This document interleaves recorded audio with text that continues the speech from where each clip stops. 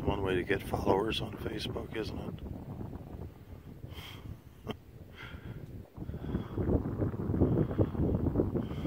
so beautiful. This is along the upper Iowa River.